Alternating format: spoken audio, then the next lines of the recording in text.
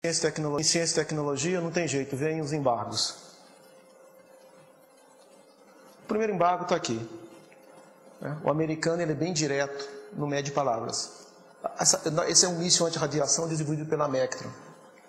A tecnologia anti-radar não está disponível por razões de segurança nacional americana, evidente. Essa tecnologia excede a capacidade aprovada para o Brasil e não vende antena. A Mectron está aqui, Salvador, né, para confirmar, a América teve que desenvolver, ela desenvolveu uma antena. E hoje nós temos uma antena nacional que é melhor do que a americana. Próximo. Bom, aqui estamos desenvolvendo o nosso míssil de curto alcance, míssil anti-radiação. Ah, no início de 85, nos idos de 85, usávamos um detetor da, da Judson americana. Ele era longo e com um diâmetro menor aqui, de 13 milímetros. Bom, quando nós terminamos o desenvolvimento em 88, em 98, fomos iniciar a série em 99, compramos, eles nos forneceram sim, era um detetor com o mesmo part number, o mesmo PN, só que ele era mais curto e com maior diâmetro, não cabia aqui dentro. Nós tivemos que reprojetar o gimbal para caracterizar o detetor. Aí descobrimos que o detetor, ele era míope, ele enxergava um borrão infravermelho desse tamanho, e além disso ele era estrábico, enxergava dois borrões, ou seja, não servia para nada. A partir desse instante, nós conseguimos outro fornecedor, que eu botei uma tarja preta aqui, né? é a África do Sul, que foi, o detetor, que foi quem forneceu o detetor que voa hoje os nossos mísseis de série. Próximo. Bom, queria, precisávamos instalar o míssil na ponta da asa do F-5. Quem conhece o F-5 é a Northrop americana, então vamos fazer um ensaio, né? vamos perguntar para o americano. Eles não responderam quais eram as velocidades máximas, fator de carga, margem de manobra do avião, nós tivemos que pendurar o F5 aqui e levantarmos todos os modos das frequências naturais. Hoje nós conhecemos o F5 melhor que o americano. Nós usamos ferramentas modernas de aeroelasticidade. Próximo. Bom, esse aqui é bem recente, é de abril desse ano. Nós precisávamos de um detetor também americano. Estamos precisando de um detetor americano para o míssil anti-radiação, versão 2. Né? E o americano simplesmente diz que esse detetor bicolor é um detetor que enxerga duas faixas de infravermelho, o baixo e o alto infravermelho, para detectar flare. Né? Que essa tecnologia aqui também vai dar um aumento significativo na potencialidade desse míssil. E que isso, isso, não, é, isso, isso não deve ser fornecido para o Brasil atualmente. Estamos tentando quebrar essa barreira aqui, procurando novos fornecedores mundiais. Próximo. Bom, bloqueios no setor, no setor espacial. Aqui, a política de não proliferação americana proíbe o apoio ao programa de, de foguete de sondagem brasileiro. Eles não vendem um prego se for para o programa espacial.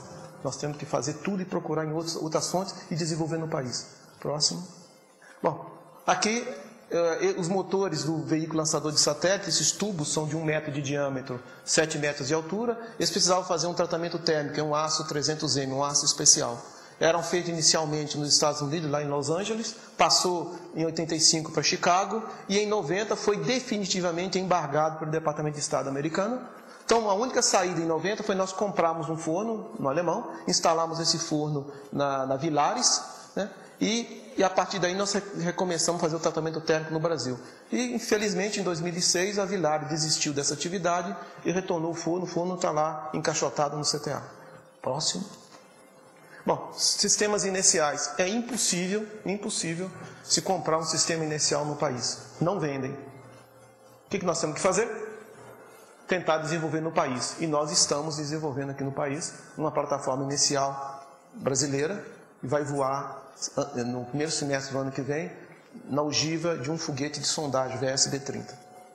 É ainda é um, um, um, protótipo, né? mas vamos fazer esse ensaio ano que vem. Próximo. Bom, no caminho de fazer a plataforma inicial, o primeiro passo é fazer os girômetros, a fibra ótica. Pegamos dois girômetros, instalamos no nariz também de um VS, de um veículo de sondagem, né? e em julho do ano passado, nós fizemos um lançamento. Comparamos os dados das velocidades angulares com uma plataforma inicial alemã que estava a bordo. O resultado foi excelente, o pesquisador ficou tão empolgado que ele publicou essa foto aqui, ó, mas sem as tarjas pretas. Exatamente essa foto sem as tarjas pretas. Ele não compra mais esse chip aqui, ó. Ele não consegue mais adquirir esse chip no mercado. Um chip comum, mas esse chip ele não compra mais. Vai ter que adaptar o circuito. Próximo. Agora essa aqui também tá bem, recente, é de, é de um mês atrás.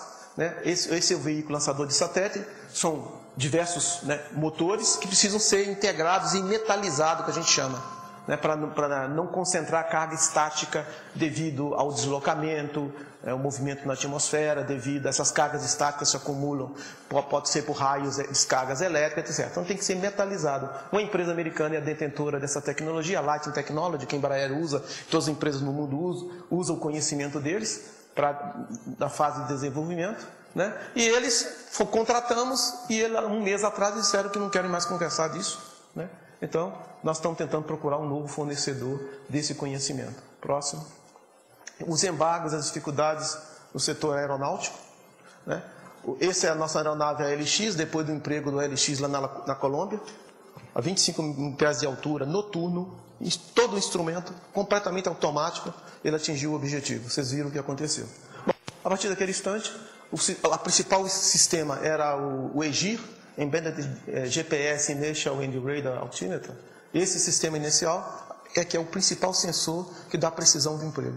O americano boicotou, né? mas depois de dois, três meses, a aeronave na linha para poder é, é, ser entregue, não tinha o um sistema.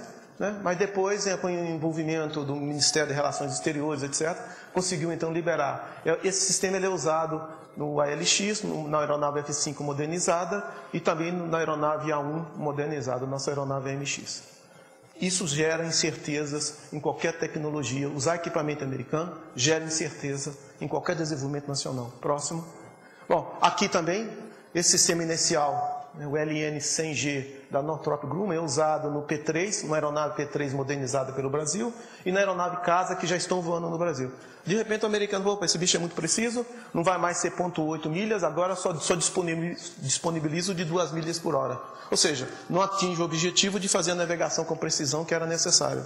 Bom, solução, estamos trabalhando, está, isso está gerando incerteza, ainda não foi solucionado, mas o Itamaraty está no circuito, o Ministério da Defesa, etc. Ver se a gente libera essa, esse sistema inicial. Em 51, o primeiro projeto, o professor Henrique Fock, era um alemão, queríamos fazer essa, essa loucura aqui, fazer um bicho que decolava na vertical como helicóptero, basculava os motores e voava como um avião, turbo-hélice. E, e foi feito, ensaio em banco, né, de 1951 até 1956. E aqui veio o primeiro boicote nosso. Era necessário, precisava usar um tubo eixo que é leve, pesa 200 kg, 3.000 HP, né, que precisava usar esse motor. O, o, a Rolls-Royce não importou, não liberou o motor, só sobrou esse motor do Super Constellation que pesava mais de uma tonelada e só gerava 2.200 SHP. O projeto ficou inviável.